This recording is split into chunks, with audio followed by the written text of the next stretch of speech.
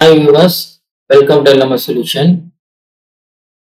Today we are going to see about speed control of BLDC motor using H Infinity controller. So in this video we are going to see about how to implement H Infinity controller for speed control of BLDC motor.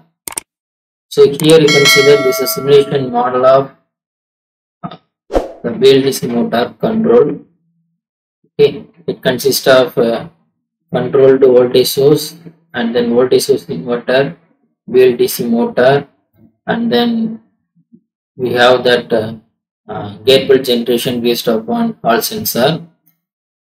And then these are the measurement of uh, BLDC motor like stator current stator back EMF rotor speed electromagnetic torque. So in order to apply H infinity controller right so first we need to find out the transfer function model of this BLDC motor. So here we, we didn't know about that transfer function model in the simulation. So in order to find out that transfer function of the BLDC motor, so we need to provide that when we need to collect the input and output data. Okay. So here you can see that I'm going to provide input for that uh, controlled voltage source. So and I'm going to collect the data here and then uh, here we are going to control the speed of the BLDC motor okay? So that going to be that mean output speed of the BLDC motor going to act as here. The output of that uh, BLDC motor here. So now to get the transfer function. So here I'm going to collect that the speed of the BLDC motor okay? So here I'm going to uh, simulate the model. For example I'm going to simulate the model for 2 seconds so initially I'm going to make the uh, voltage uh, level for that uh, control voltage source is equal to 300 and then the maximum voltage I'm going to fix as 500 so at the time of 1 second the voltage of control voltage source change from 300 to 500 okay.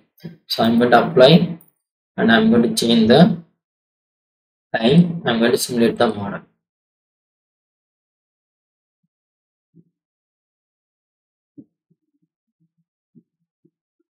So after simulation of this model, right, uh, we will get the result here. So this is the result of that means speed of the BLDC motor.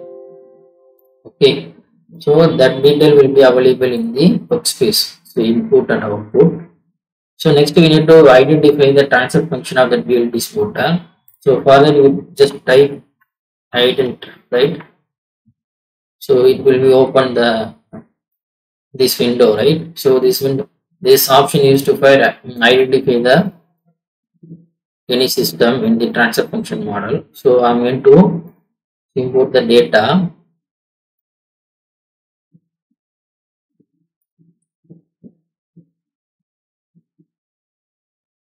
So here you can change time domain data. Okay. So and then you can type the input data. So in so input data is in, so output data is out. Okay and then the starting time is 0 the sample time i'm going to consider as 0 point so you have to find the sample time. So here the total number of sample is 40000 right? So here the total time we are taken is right um, 2 second divided by 40000 right? So sample time is 5 u power minus 5 right so you have to fix the sample time here and then click more option and also here you can provide the data in and out. So next you have to click import. So the data will be imported here, right? So next I'm going to use that uh, that mean I'm, I'm going to remove the mains right so I'm going to use this one. Okay. So after that I'm going to estimate the transfer function. So for estimation uh, estimating a transfer function I'm going to click the transfer function model here. And then here we need to provide so number of poles and number of zeros. Okay. Uh, and then I'm going to use discrete uh, concept. So here I'm going to default I'm going to use number of poles equal to 1, number of zeros equal to. So number of poles equal to 2, number of zeros equal to 1 and I'm going to estimate the transfer function. So it automatically estimate the transfer function.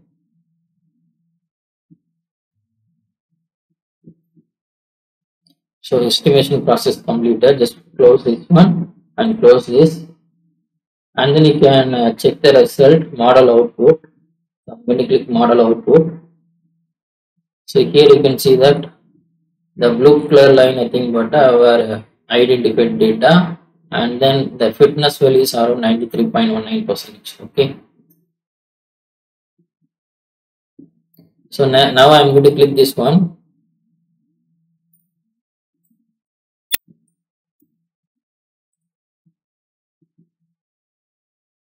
so here we will see that the transfer function of this collected that mean for collected data of the BLDC motor so this transfer function in terms of uh, discrete form. So we can get the transfer function is in S domain also. So for that you can click on second transfer function model and then use continuous function and estimate the model. That means you have to find out the transfer function model with the number of poles equal to 2, number of zeros equal to 1. Okay. So it will be finding the transfer function values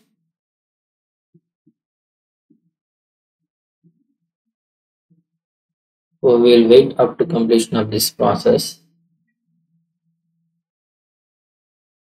So after completion here you will see that right now the estimation process completed. Now close and then here you will get the transfer function right. So this is a final transfer function of that uh, model. So this transfer function already we collect the data for different trial right. So already we did the things okay so here this is the transfer function for that particular model for the BLDC motor we collected. Okay.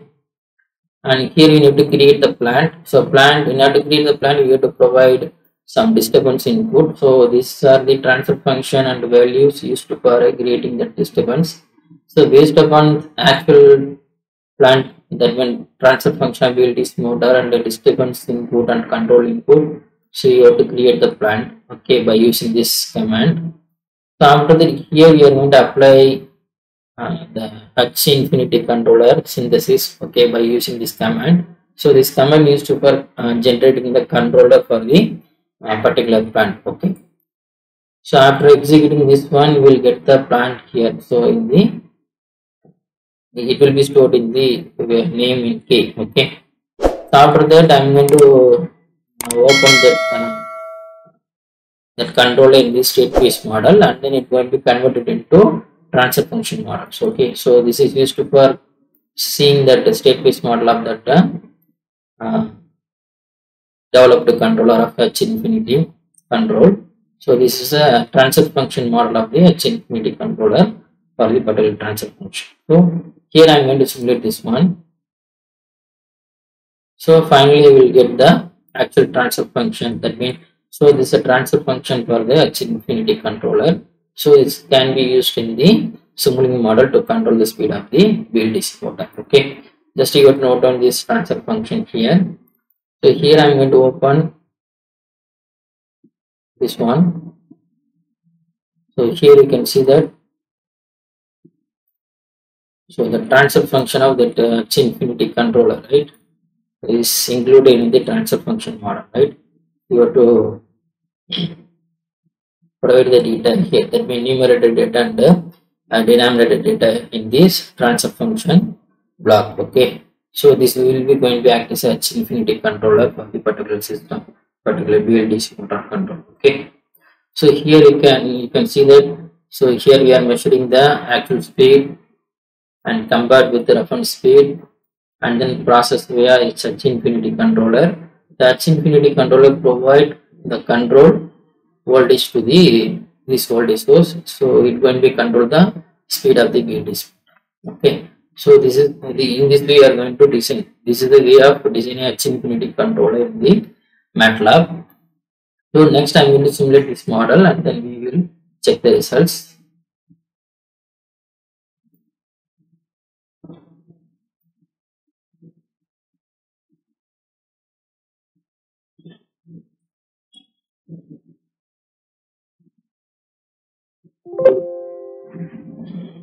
So this is the input voltage, variation of input voltage with respect to change in reference speed command. And then this is,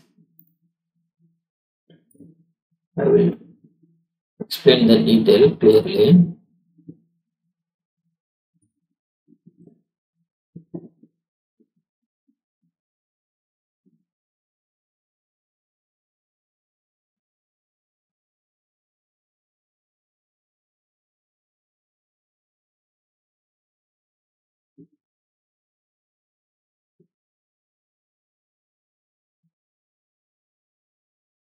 So here you can see that this is changing.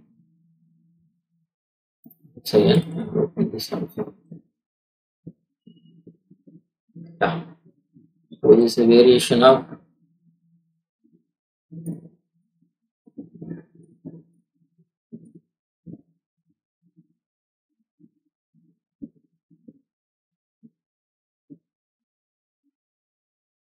So this input variation depends upon the reference speed command, right? So initially the set speed is is 3000 rpm. So the, the, voltage of the input side, right? DC side is around uh, 480 volt, right? So here you can see that the speed of the BLDC motor settled at uh, 0.4 seconds, okay, without any overshoot. So after one second, right, the set speed or reference speed is changed from 3000 rpm to 2000 rpm. So here you can see that the speed of the BLDC motor settled at uh, 1.3 seconds, okay, after change from the one second, right. So during the change of uh, reference speed command, the voltage of the input side is changed from 480 volt, 480 volt to 380, uh, nearly 320 volt. Okay, so this is a variation of uh,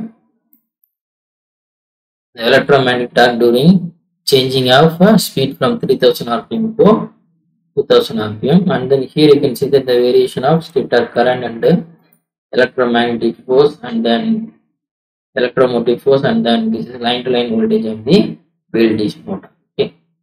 So here you can see that uh, after designing a H infinity controller, so we are getting the smooth response. That means uh, controller easily track the uh, reference reference command very quickly without any overshoot and undershoot. Okay, so this is working of uh, H, H infinity controller for uh, speed control of BLDC.